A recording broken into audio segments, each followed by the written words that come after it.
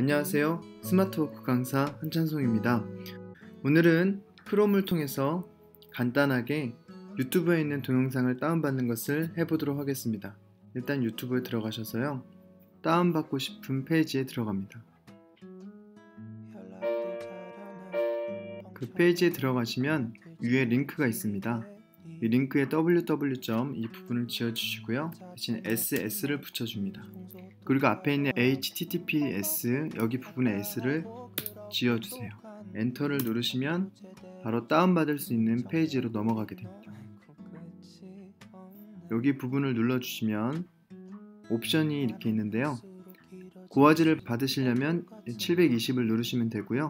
저화질을 받으시려면 360을 누르시면 됩니다.